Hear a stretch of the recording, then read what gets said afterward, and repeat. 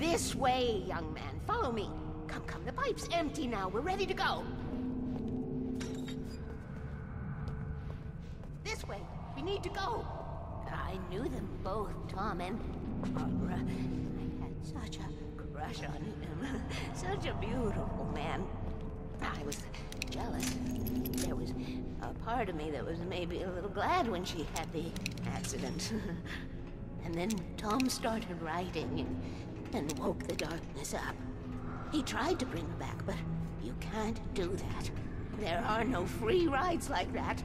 I'm starting to realize that. In that case, young man, perhaps you're a smarter man than Tom was. The witch looked like her, but it wasn't. Barbara was sweet. He didn't understand until it was too late.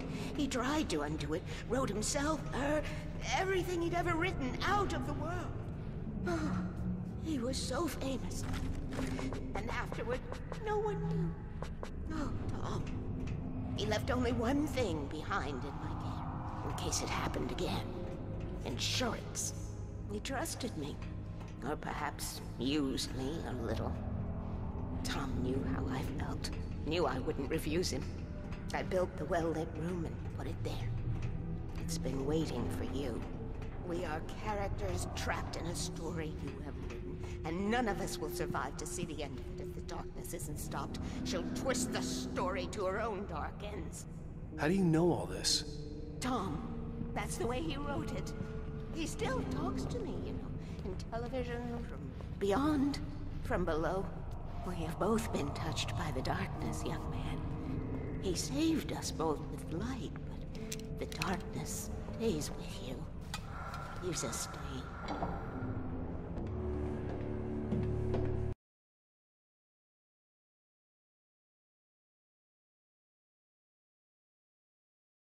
This pipe will take us directly to the well-lit room. Okay, I need to call my friends, tell them where we're going. Hello? Al! Barry, we're headed to the dam in one of the pipes. Meet us there. It's Sarah now? Whoa! No! For the sweet love of... Barry! Barry! We gotta go see if they're okay. They're probably dead. You must reach the well-lit room. This is no time to be a selfish idiot. That's my best friend.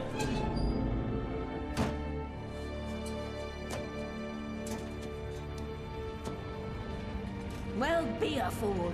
I'll use the pipe. I'll meet you at the dam if you make it.